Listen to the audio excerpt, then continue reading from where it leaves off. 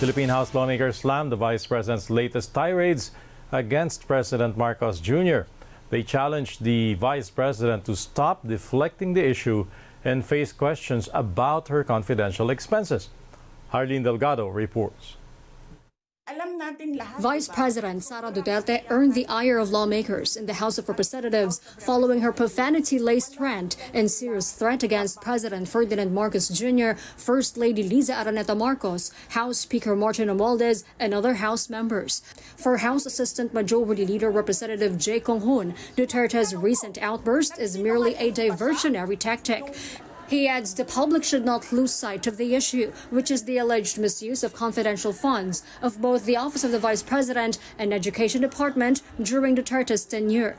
Taguig Representative Pammy Zamora echoes this assessment. She said no amount of distraction should divert attention from ferreting out the facts behind the use of confidential funds. Zamora also challenged Duterte to just appear before the House Committee on Good Government and Public Accountability to clear the issue. The panel is set to resume hearings on Monday, November 25. At least one lawmaker has called out Duterte's recent actions. In a statement, Parlor's Representative Jude Acidre said Duterte's toxic behavior reflects poorly on her role as the second highest official of the land. For Acidre, the vice president should just explain her confidential expenses. Meantime, the panel's chairman, Representative Joel Chua, rejects Duterte's accusations that their transfer order put her chief of staff in harm's way.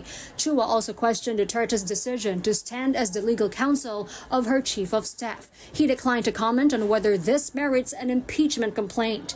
Under the Constitution, the President, the Vice President, the members of the Cabinet are prohibited from practicing their profession. So I do not know where the Vice President is uh, getting this uh, uh, idea that uh, she can uh, stand as counsel for Attorney Lopez.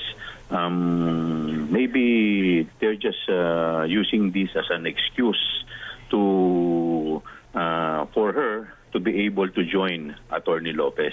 But when asked if the vice president's threat against Marcos and Romualdez could be a possible ground for impeachment, Chua answered in the affirmative. Harleen Delgado, ABS-CBN News.